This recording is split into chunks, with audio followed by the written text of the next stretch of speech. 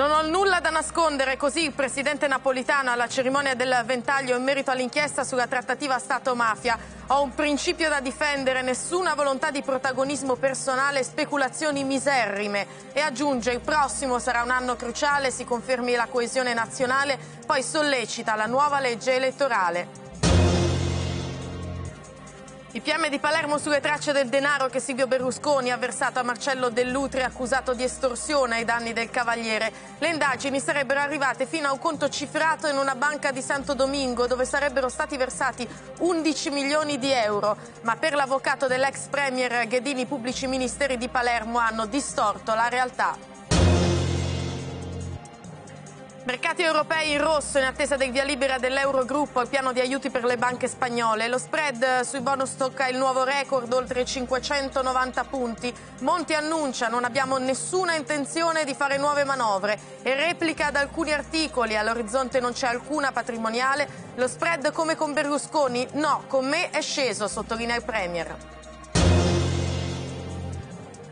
Situazione sempre più drammatica in Siria, sconvolta dalla guerra civile. Nella capitale si continua a combattere. Secondo le organizzazioni umanitarie si contano almeno 300 vittime negli scontri avvenuti ieri. Il regime di Damasco smentisce la notizia diffusa dall'ambasciatore russo a Parigi, secondo cui Assad sarebbe pronto a lasciare il potere. Strage negli Stati Uniti in un cinema alla periferia di Denver. Un killer armato fino ai denti fa fuoco sugli spettatori nella sala dove si proiettava la prima di Batman. Almeno 14 morti, tra cui diversi bambini, oltre 50 i feriti. L'assassino arrestato poco dopo indossava un vestito come il cattivo del film e un giubbotto antiproiettile.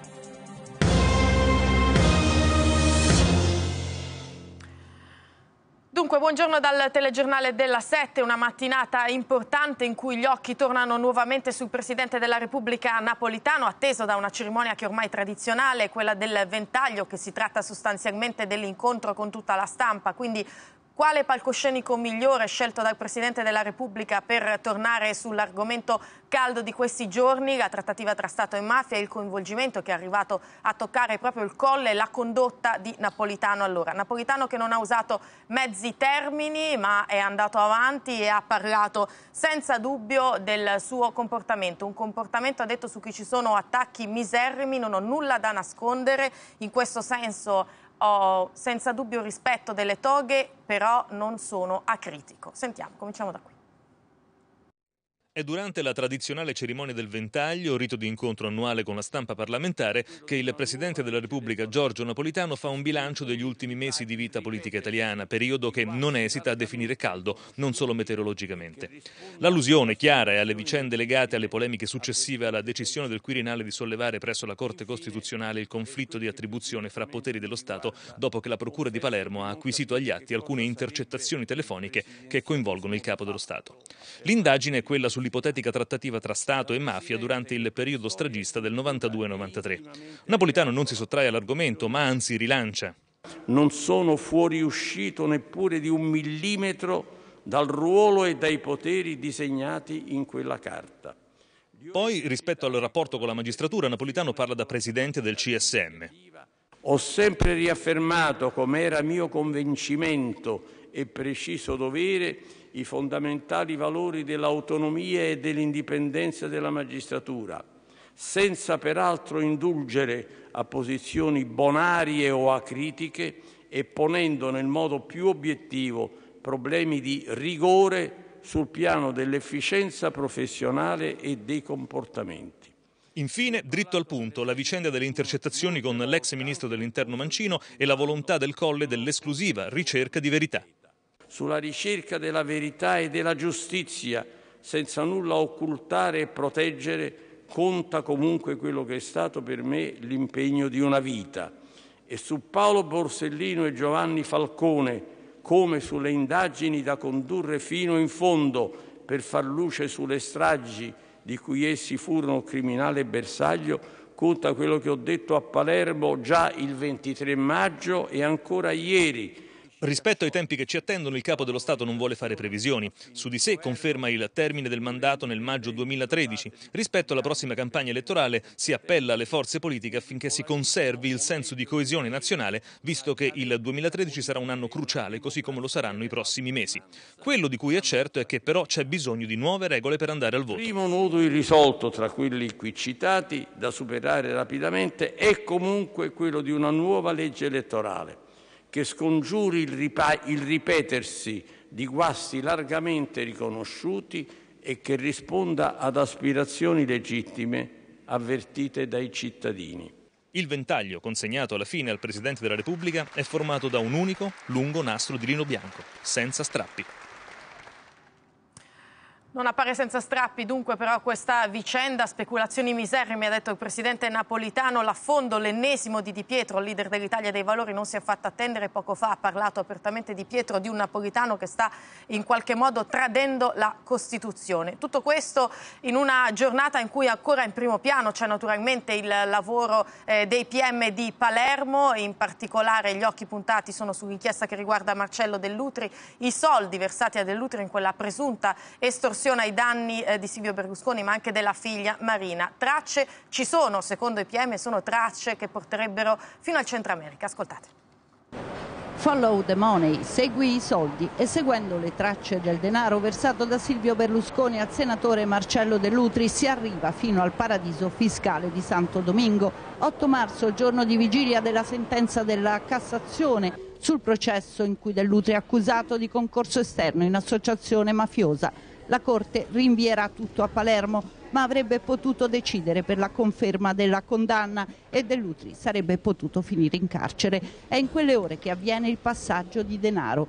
Berlusconi acquista la villa di Dell'Utri sul lago di Como pagandola quasi 21 milioni di euro, una cifra incongrua, gonfiata, secondo i magistrati di Palermo che hanno indagato il senatore del PDL per estorsione proprio nei confronti di Berlusconi. Nello stesso giorno, 8 marzo, un bonifico di 15 milioni viene versato su un conto della moglie di Dell'Utri, Miranda Ratti, e nella stessa data una parte di questi soldi, 11 milioni di euro, viene messa su un conto del Banco Popular Dominicano nella Repubblica di Santo Domingo. Un giro di denaro sospetto che secondo la Procura dimostrerebbe non solo la prova di una sorta di ricatto di Dell'Utri nei confronti del suo storico sodale Berlusconi, ricatto in cambio del silenzio su possibili legami con la mafia, ma anche l'intenzione del senatore del PDL di prepararsi una latitanza proprio in quel di Santo Domingo, nel caso fosse stato condannato. E in queste ore l'attività qui in Procura a Palermo ha subito un'accelerazione, rogatorie internazionali, controlli della polizia valutaria sui conti intestati a Marcello Dell'Utri, alla moglie e ad eventuali prestanome. Intanto in Procura si commenta la notizia del distacco di Antonio Ingroia, procuratore aggiunto che coordina l'inchiesta sulla trattativa Stato-mafia e anche quest'ultima costola che riguarda Dell'Utri. Ingroia ha chiesto di lasciare e ha accettato un incarico in Guatemala presso le Nazioni Unite capo investigativo dell'unità di analisi criminale. La prossima settimana il CSM dovrà discutere la pratica,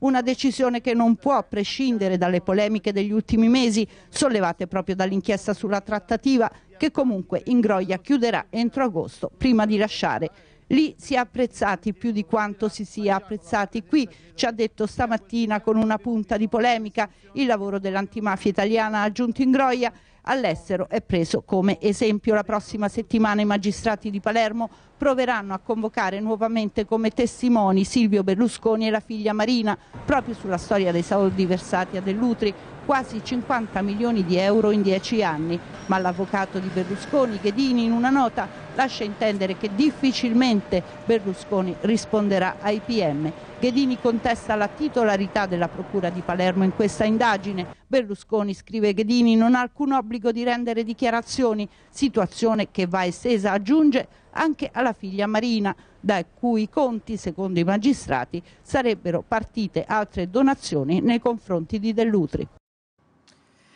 Allora, elementi per raccontare quella che è la situazione sono arrivati sicuramente dalle parole di Napolitano oggi, così come da quelle del Presidente del Consiglio Mario Monti, che poco fa ha mm, finito la conferenza stampa al termine del Consiglio dei Ministri. Innanzitutto quel che è stato deciso nel Consiglio dei Ministri odierno, l'accorpamento delle province, tanto se ne è parlato in queste settimane, se ne salvano 43, 64 verranno invece accorpate, poi c'è anche il riordino delle festività che però il Governo ha deciso di non accorpare. In conferenza stampa stampa, lo vedete, Mario Monti ha toccato tantissimi temi, innanzitutto il calo dello spread, il Presidente del Consiglio ha detto che questo calo c'è stato durante il suo governo rispetto a quello del periodo Berlusconi, perché lo spread non cala ulteriormente proprio per l'incertezza politica, in questo senso ha ricalcato le parole del Presidente della Repubblica Napolitano, l'invito ai partiti a mantenere l'impegno e a prendere decisioni. Ha smentito le notizie che eh, riportavano alla possibilità di una nuova manovra in arrivo, così come ha smentito l'urgenza e la necessità di una patrimoniale che non ci sarà e poi ha parlato, è tornato anche suo, sul suo incontro urgente col Presidente della Repubblica eh, Napolitano, non legato a esigenze particolari ma è tutta la situazione in questo momento, situazione italiana che eh, richiede da parte di tutti gli elementi, a cominciare proprio dall'esecutivo, grande rapidità. Ha detto il contagio è in corso, ha detto Monti, ma noi non dobbiamo diffonderlo. Come si fa? Si fa innanzitutto attendendo quelli che sono i risultati dell'Eurogruppo in corso in questo momento. La parte più importante riguarda senza dubbio gli aiuti da sbloccare quelli per gli istituti eh, spagnoli. Quindi vediamo.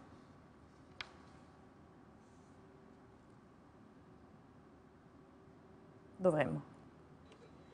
Attesa, Guardinga è molto pessimistica. L'atteggiamento che prevale sui mercati è questo in vista dei risultati dell'Eurogruppo in teleconferenza proprio ora in corso, che dovrebbe decidere sui dettagli tecnici del pacchetto di aiuti alle banche spagnole, alle banche e non solo secondo quanto emerge dall'accordo quadro di assistenza finanziaria pubblicato ieri sul sito del Bundestag, il Parlamento tedesco, che aveva appena approvato il piano di aiuti e firmato dal governo di Madrid con il fondo salva stati EFSF che dovrà erogare i soldi, circa 100 miliardi di euro euro che serviranno a ricapitalizzare gli istituti di credito iberici sull'orlo del tracollo, ma non solo, dicevamo, perché ciò che emerge dall'accordo quadro va oltre. La Spagna, infatti, potrebbe usufruire di una sorta di scudo antispread ante litteram. Se infatti Madrid non dovesse utilizzare tutto il denaro previsto dal memorandum per soccorrere le proprie banche, potrebbe chiedere, previa la firma di ulteriori protocolli di intesa, di utilizzarlo per altri scopi, come ad esempio l'acquisto di titoli obbligazionari sia sul mercato primario che su quello secondario e la concessione di prestiti al governo, una vera e propria ipotesi di salvataggio dello Stato dunque. In cambio degli aiuti, l'esecutivo guidato da Mariano Rajoy ha già pagato il prezzo della manovra lacrime e sangue da 65 miliardi di euro che da una settimana a questa parte sta provocando vastissime proteste in tutto il paese.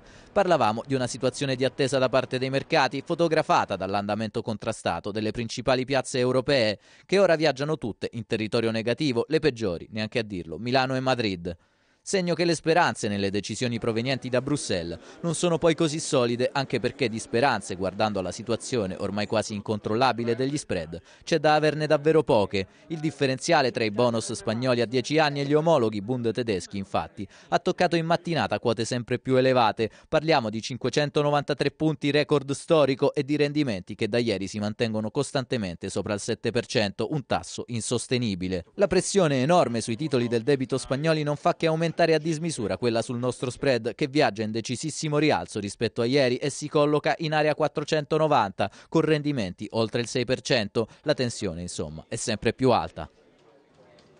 E forse anche per questo che Monti poco fa ha detto che l'Italia deve farcela da sola senza aiuti per evitare di finire come altre piazze. Il riferimento esplicito è quanto sta accadendo in Spagna in questo senso il Presidente del Consiglio ha chiesto anche ai sindacati una mobilitazione che però non impedisca l'azione di governo, che è un po' quel che sta succedendo invece in Spagna. Solo nella giornata di oggi 80 manifestazioni in tutto il paese contro quella manovra lacrime e sangue che guardate cosa ha comportato solo nella giornata di ieri. Vogliono rovinare il paese, dobbiamo impedirlo. Somos más, noi siamo di più. E questo è il grido delle almeno 100.000 persone ieri sera a Madrid nella protesta contro le misure di austerità decise dal governo.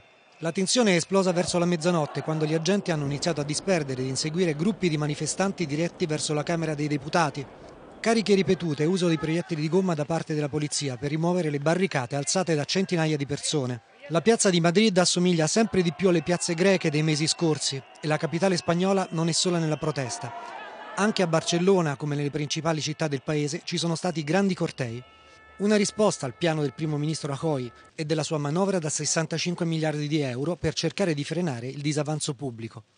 Tra le misure approvate dal governo iberico, drastici tagli di spesa e delle retribuzioni del settore pubblico, compresa l'eliminazione delle tredicesimi per i dipendenti statali, equivalente a una riduzione del 7% annuo degli stipendi. Per questo era massiccia nei cortei la presenza dei dipendenti statali, medici, professori, vigili del fuoco e poliziotti senza divisa. Tra gli indignati mischiato anche l'attore Xavier Bardem. E anche questa mattina a Madrid si registrano nuovi tafferugli con sei feriti. I sindacati chiedono un referendum sulla manovra di austerità e annunciano un agosto di lotta, preludio di un autunno di scontro sociale senza precedenti. E c'è che in questa fase di crisi punta il dito anche sulle agenzie di rating, sicuramente al lavoro da questo punto di vista c'è la Procura di Trani già dal 2010, Procura di Trani che adesso si concentra su un altro aspetto legato al mercato, quello del possibile manipolazione dei tassi. La Procura di Trani ha aperto un'inchiesta sull'Euribor, il tasso interbancario che serve, tra l'altro, a determinare i mutui a tasso variabile. Vuole accertare se c'è stata una manipolazione a favore del gruppo di banche europee che lo determinano. La notizia arriva da due associazioni di consumatori che hanno presentato denunce alle procure. La Procura di Trani è la stessa che sta indagando anche sulle agenzie di rating Moody's, Standard Poor's e Fitch. Cerchiamo di capire meglio. L'Euribor si basa sulle segnalazioni sui tassi applicati da 43 banche europee. Determina in sostanza i mutui e l'interesse sui prestiti. Ora, le quattro maggiori banche europee, Credit Agricole, HSBC, Deutsche Bank e Société Générale, sono già finite nel mirino dell'antitrust comunitario che sospetta un potenziale cartello per determinare l'Euribor. E qui rispunta l'inchiesta sul tasso gemello, il Libor, quello applicato tra le banche che operano sul mercato londinese, da cui dipendono miliardi di contratti. Meccanismi complicatissimi ma con un fine molto semplice, basta variare un piccolo numero e si guadagnano miliardi. Per capire lo scandalo sul libro occorre tornare nel 2008 quando Tim Geithner, allora governatore della Fed di New York e oggi segretario del Tesoro americano, informò il governatore della Banca d'Inghilterra King imitandolo a fare delle riforme sul tasso Libor, definendolo poco trasparente. King ringraziò, passò l'informazione ma tutto rimase come prima e oggi proprio il tasso Libor è al centro di uno scandalo bancario internazionale. La superbanca inglese Barclays ha patteggiato il pagamento di una multa da 290 milioni di sterline per risolvere la disputa e chiamarsi fuori. Ma negli Stati Uniti la class action, le azioni legali che vedono alleati più consumatori, sono partite addirittura un mese prima che la notizia finisse sui giornali. Molti hanno investito in strumenti finanziari basati sul Libor. Se si dovesse accertare che le banche hanno manipolato il tasso, il risarcimento potrebbe essere stellare. Insomma, serve trasparenza, in America come in Europa. Le associazioni dei consumatori gridano allo scandalo, ma c'è un rischio. Se si dovessero davvero cambiare le regole, chi ha un mutuo variabile rischierebbe di pagare di più rispetto a oggi. L'Euribor infatti è più basso rispetto al tasso di interesse della BCE. Mercati che probabilmente tireranno un sospiro di sollievo, arrivata la conferma che l'Eurogruppo ha, ehm, ha trovato l'accordo sull'aiuto alle banche spagnole. tutt'altra situazione invece in Siria dove non c'è tranquillità, non c'è neanche chiarezza sulla situazione con il regime di Assad che a quanto pare prova a riordinare le file dopo l'attacco di Damasco dei giorni scorsi. Uno dei valichi di frontiera tra Siria e Turchia da ieri è nelle mani dell'esercito libero siriano. I miliziani che ne hanno preso possesso dopo la fuga delle guardie fedeli a Damasco scaricano ora rabbia e tensioni contro le immagini del presidente Assad, mentre la guerra civile in furia in mezzo paese si fugge verso le tendopoli in territorio turco o verso il Libano dove sarebbero transitate nelle ultime 24 ore almeno 30.000 persone. Scontri violentissimi e bombardamenti dell'esercito sono in corso in almeno sei tra sobborghi e quartieri della capitale, come Midan, Tadamon, Kabun e ancora Jaber, Dumeir e Tayyabia. A Damasco è l'Apocalisse, dichiara in un'intervista stamattina il vescovo maronita Monsignor Nasar. Iniziano a mancare cibo, gas, benzina e tutte le strade verso la Giordania, Aleppo e Homs sono state chiuse. Fonti di regime hanno confermato la morte avvenuta in nottata del capo dei servizi segreti siriani, vittima anche lui dell'attentato di due giorni fa contro la sede della sicurezza sicurezza nazionale che ha di fatto decapitato i vertici militari e di intelligence del paese, nonostante il presidente Assad abbia immediatamente provveduto a nominare un nuovo ministro della difesa e sempre fonti governative smentiscono poi l'affermazione rilasciata poche ore fa a Parigi dall'ambasciatore siriano in Francia circa le imminenti dimissioni del Rais di Damasco, dato in fuga dal paese ma riapparso ieri in tv proprio con il nuovo capo delle forze armate. Intanto, per citare una dichiarazione dell'ambasciatore tedesco all'ONU, la Siria muore ma Mosca e Pechino continuano ad esitare. La Russia, dopo aver votato l'ennesimo no a sanzioni dure contro il paese amico, rifiuta lo scarico di responsabilità per l'acuirsi della crisi interna. Per adesso dà il suo ok solo ad altri 45 giorni di missione degli osservatori dell'ONU e si dice preoccupata da un'eventuale azione militare contro la Siria, come auspicato e minacciato dall'America senza l'egida di Palazzo di Vetro, sede delle Nazioni Unite. Sarebbe un segnale preoccupante per tutti, dicono i russi, mentre lunedì l'Unione Europea varerà le sue nuove sanzioni contro Damasco, mirate a bloccare nuove forze forniture di armi grazie a controlli più intensi e a congelare beni e visti agli uomini di regime. In primo piano c'era anche l'attentato agli israeliani in Bulgaria, quello che aveva fatto scattare l'allarme negli Stati Uniti per i turisti e i cittadini americani in Europa. Nessuno avrebbe potuto immaginare, neanche un Obama che in queste ore si dice scioccato, che invece il terrore sarebbe arrivato nel cuore del Colorado, a Denver. La prima di un film di Batman si è trasformato in un palcoscenico terribile di morte per un ragazzo che ha sparato davvero a caso. Per fare una strage ha scelto di mascherarsi da Flagello, uno dei cattivi della saga di Batman, e così col volto coperto da una maschera antigas, un giubbotto antiproiettile, un fucile e due pistole, un folle di 24 anni ha fatto eruzione alla proiezione della prima del Cavaliere Oscuro e Ritorno, l'ultimo capitolo della saga dell'uomo pipistrello. Siamo nello stato del Colorado, periferia di Denver, nel cinema Century 60 Movie Theaters che si trova all'interno del centro commerciale della cittadina di Aurora. Il folle prima avrebbe aperto il fuoco all'impazzata e poi lanciato un candelotto fumogeno. In base agli ultimi aggiornamenti sono almeno 14 14 morti, di questi 10 sul colpo, gli altri dopo il trasporto in ospedale e almeno 50 i feriti. I testimoni parlano di scene raccapriccianti. Tra le vittime ci sono bambini, il cui corpo è stato dilaniato dagli spari. Uno sarebbe stato ucciso a bruciapelo, una bambina è stata colpita da un proiettile al volto, un'altra allo stomaco. L'uomo che è già stato catturato, a quanto risulta alla polizia, ha agito da solo, è stata esclusa dunque la presenza di un complice come affermato in un primo momento. La polizia, l'FBI e le autorità hanno fatto evacuare la zona, mentre proseguono i controlli sulla presenza di eventuali bombe. Alcune sarebbero state piazzate vicino al luogo della strage, altre, in base alle dichiarazioni del fermato, sarebbero nella sua abitazione. Il terrorista ha indossato i panni di Bane, in Italia conosciuto come Flagello, un personaggio legato alle storie di Batman. Nemico dell'eroe 35 nella classifica dei cattivi nella storia dei fumetti, dotato di grande intelligenza, la mette a disposizione del male, grande conoscitore della strategia militare e anche dotato di una forza sovrumana. L'FBI sta valutando di alzare il livello di allarme per la sicurezza nel paese. Nel giro di quattro anni le stragi che hanno coinvolto dei giovani sono state ben sette, l'ultima risale a giugno scorso in Alabama. Torniamo con l'instabilità politica di cui ha parlato Monti questa mattina, si specchia bene nel momento della Lega, una convivenza ormai è chiaro in questi termini davvero impossibile tra Bossi e Maroni. La tregua armata che diventa scontro frontale, questione di leadership. Il gelo nella Lega c'è e si sente rigorosamente a distanza. Ieri per tutto il giorno Bossi e Maroni hanno continuato a rispondere alle domande su chi comanda nel carroccio.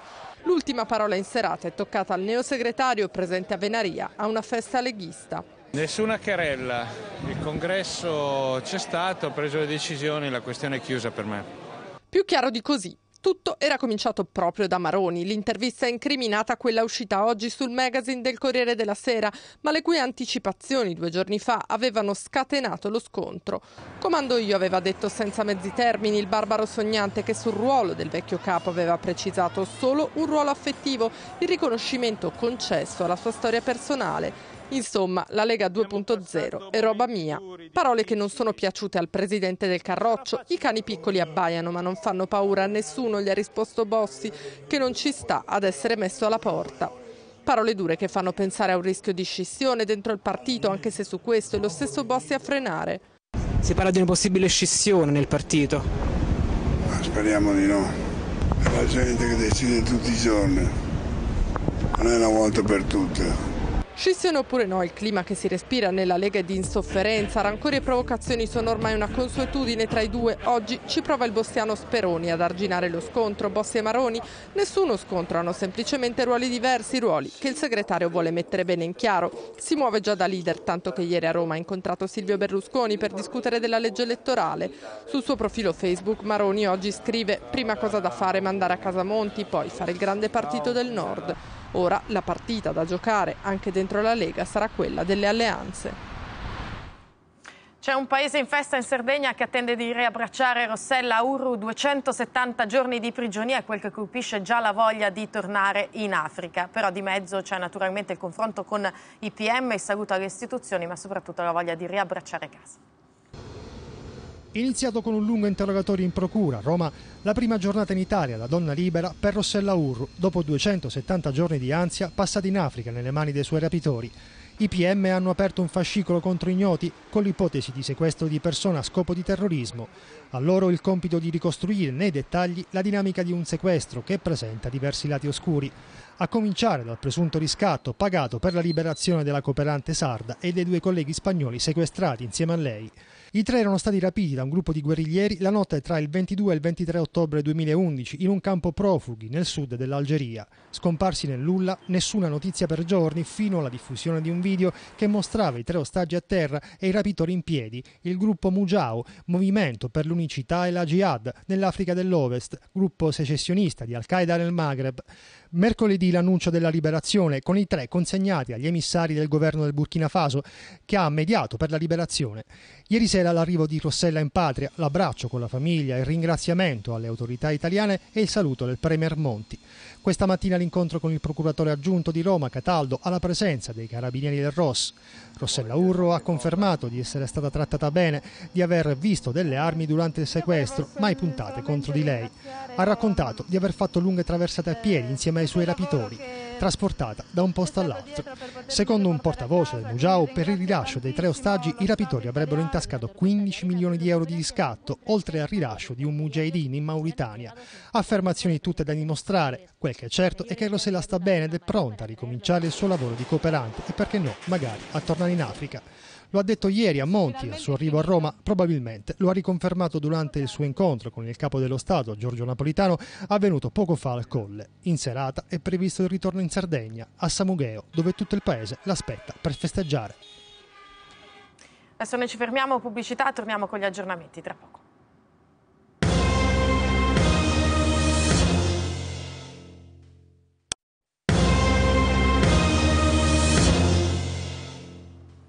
Di nuovo insieme, 40 secondi dopo le 14, tutti gli aggiornamenti con le reazioni che stanno arrivando alle parole del Presidente della Repubblica e Presidente del Consiglio le troverete sul nostro sito internet come sempre, poi prossima edizione del telegiornale alle 20. Noi ci rivediamo domani, grazie e arrivederci.